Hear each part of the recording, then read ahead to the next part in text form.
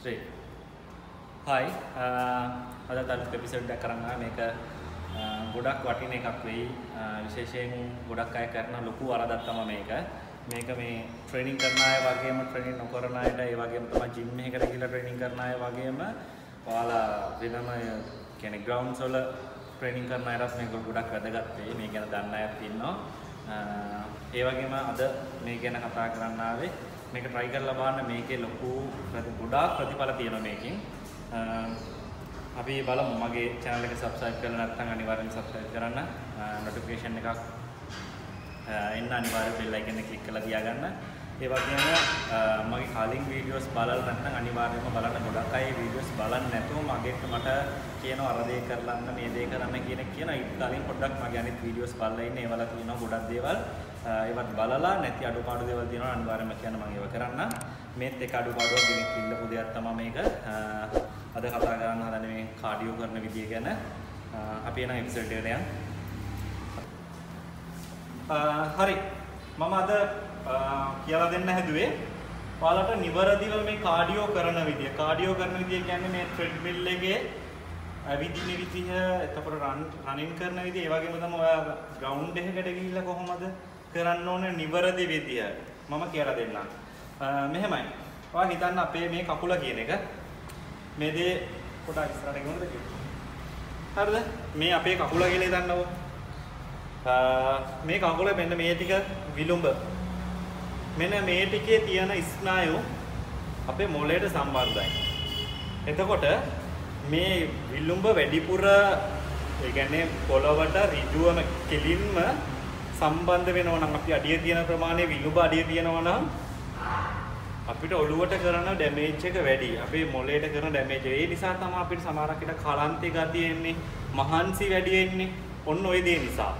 එතකොට ඒ ඒ ප්‍රධාන හේතුව සමහරක් කට්ටිය ගොඩාක් ඇවිදලා ආවට පස්සේ මාර විදිහට මහන්සි. සමහරක් කට්ටියට කලන්තේ ගතිය එනවා. ඒ එන්න එක හේතුවක් තමයි ඕක. මම 100%ක් මේක කියලා කියන්නේ ඒනට 150ක් විතර ඕක බලපානවා. මම මේ කියන කතාව බලපානවා ඔයාලගේ මහන්සිය වෙහෙස වැඩි වෙන්න හේතුව. එතකොට අපි හරියට ඇවිදිනවා නම් අපේ මේ අපේ ඇඟිලේ අපේ කකුලේ මෙන්න මේ ටික තියෙන්නේ. මේ ටික තමයි මුලින්ම බිමට තියන්න ඕනේ. ඒ කියන්නේ මම මෙහෙම තියලා ඔහොම තියන නෙමෙයි. හරි ෂණිකව තමයි මේ දේ වෙන්නේ. තප්පර ගානක වෙනසක් තියෙන්නේ. එතකොට මුලින්ම මෙහෙම තියලා ඊට පස්සේ තමයි විලුඹ තියන්න ඕනේ. නැතු එකපාර විලුඹ විලුඹ මෙහෙම තියන්න එපා. බලන්න දැන් මම මේ යන විදිය. ගොඩක් කට්ටිය කරන්නේ මෙන්න මෙහෙම. ඔන්න ඔහොම. පේනවද?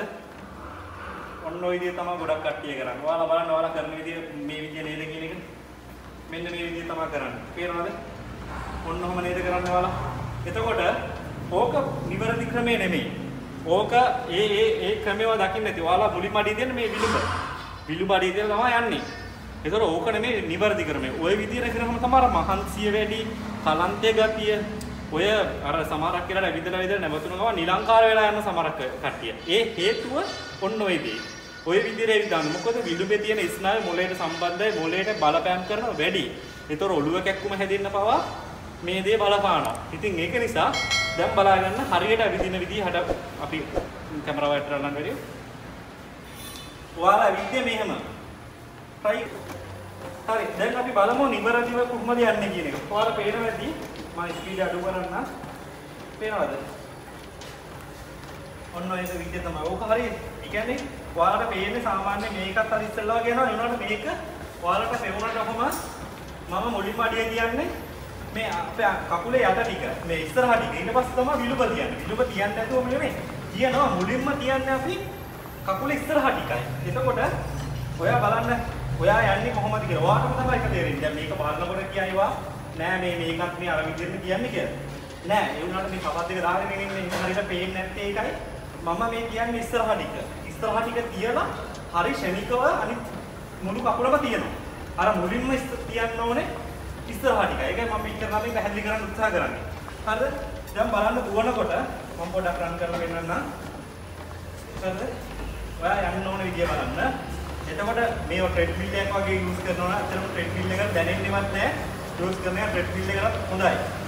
හරිද?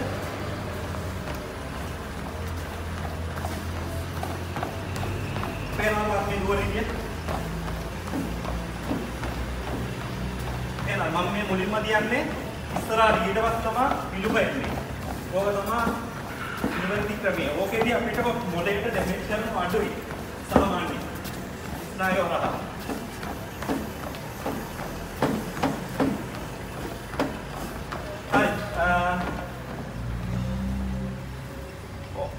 දැන් ඔයාලා බලා ගන්න ඇති නිවැරදිව කොහොමද දුවන්නේ කියලා. කරලා බලන්න. අමාරු නෑ. මුල් දවස්වල පොඩ්ඩක් අර ස්කූබ්ඩු එකේ ෂැගි වගේ ඉඳි. එනකොට කරලා බලන්න ඒක වටිනවා. ඔයාලට ග්‍රවුන්ඩ් එකක රන් කරන කෙනෙක් නම් ට්‍රෙඩ්මිල් එකක් යූස් කරලා ජිම් එකට යන කෙනෙක් නම් මේක අතිශය වැදගත්. මේකෙදි ඔයාට ඔළුව කැක්කුම මහන්සිය කලන්ත එක තියෝ දේවල් එන්නේ නෑ. ඔහොම ඇවිදිනකොට. ඒක නිසා ඒ දේවල් පුරුදු වෙන්න පුරුදු වෙලා නිවැරදිව දෙයක් කරමු. ඒකයි වැදගත්. දැන් මේ දේ වුණා. ගොඩක් වැදගත්. මම ඉස්සරහට කියලා දෙන්නම් මහත කෙනෙක් කොහොමද කාඩියෝ කරන්න ඕනේ කියන එක. ගොඩක් අය මේ කාඩියෝ කරන විදි වැරදි. එයාලා ඔහේ ඇවිල්ලා ට්‍රෙඩ්මිල් වල නිකන් ඇවිදිනවා පැය ගණන්. එහෙම ඇවිද්දට දිව්වට ඇති වැඩක් වෙන්නේ නැහැ ඇඟට.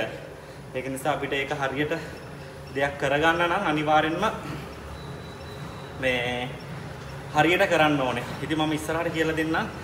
කාඩියෝ කොහොමද හරියට කරන්නේ අපේ සික්ස් පැක් එක නැත්නම් ඇබ්ස් ටික කොහොමද අපි හරියට හදාගන්නේ කියන එක මම ඔයාලට මේ අද මේ ගිනාපු එපිසෝඩ් එක මීට වඩා විද්‍යාත්මකව පහදන්න පුළුවන්. හැබැයි ඒක තේරුමක් වෙන්නේ නැහැ. මොකද වඩාත්ම පැහැදිලි වෙන්නේ මේ විදියට සරලව කිව්වොත් කියන එක මම දන්නවා. මොකද ඔයාලට මම මේ කියපු භාෂාව හොඳටම තේරෙනවා. උගත් නූගත් ඕන කෙනෙක්ට මම මේක කියපු විදියට තේරෙනවා. හැබැයි මම මීට වඩා අර සයන්ස් පැත්ත දාලා ඉවරලා කතා කරා නම් ඔයාලට ගොඩක් දේවල් තේරෙන්නේ නැහැ. මේක යන සිද්ධිය ගැන කතා කරා නම් ඔයා මේ එපිසෝඩ් එක ස්කිප් කරනවා. ඒක තමයි ඇත්තම දේ. ඒකයි. ඒක නිසා මම මේ ඔයාලට තේරෙන භාෂාවෙන් කතා කරන්නේ ඒකයි. ඒකයි සිංහල ගැන මේ විදිහට කරලා බලන්න. කරාට පස්සේ ඔයාලට තේරෙයි ඔයාලා කොතනද ඉන්නේ? ඔයාලා කරන දේ හරිද? වැරදිද? මොනවද ඔයාලගේ තියෙන අඩුපාඩු? මේ විදිහට කරාට පස්සේ ඔයාලට ලැබෙන්නේ මොනවද කියන එක බලන්න. ඒක ඔයාලට අර භෞතිකව ලැබෙන්නේ නැහැ. ඒනාට ඔයාලට තේරෙයි ඉබේම ඔයා කරන දේ කරන එකේ ප්‍රතිඵලයක් තියෙනවා කියන එක තේරෙයි. ඉතින් ඒකයි මට කරන්න ඕනේ. මගේ channel එක subscribe කරලා නැත්නම් අනිවාර්යෙන් subscribe කරන්න. bell icon එක click කරලා නැත්නම් අනිවාර්යෙන් bell icon එක click කරන්න. එතකොට මම ඊළඟට දාන episode එකකට වාට notification එකක් එනවා. ඒ වගේම තමයි මගේ කලින් වීඩියෝස් අනිවාර්යයෙන්ම බලන්න. බලලා ඉවරලා මගෙන් අහන ප්‍රශ්නයක් අහන්න. මොකද ඒ සමහරක් කට්ටිය දේවල් බලන්නේ නැතුව මට මගේ ප්‍රශ්න අහලා තියෙනවා. ඒක නිසා අර විදියට කරන්න පුළුවන් නම් ඒක ලොකු උදව්වක්. අපි ඊළඟ එපිසෝඩ් එකේදී හම්බෙමු. මම සියලු දෙනාම පස්සෙම ඉන්න සරණයි. දේශුපීටයි හම්බෙමු.